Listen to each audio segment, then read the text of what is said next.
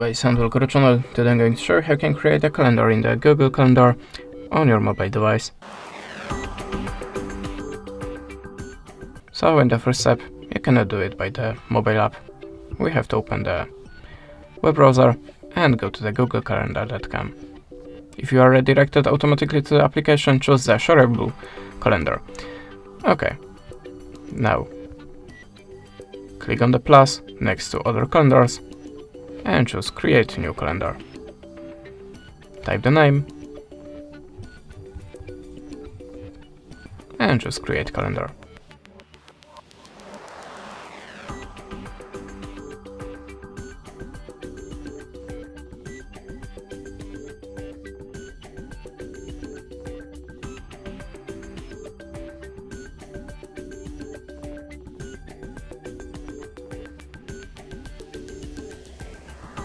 And now you should see this calendar also in your mobile app.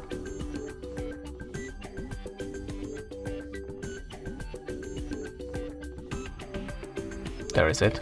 That's it. Thanks for the watching, leave us a subscribe, a comment and goodbye.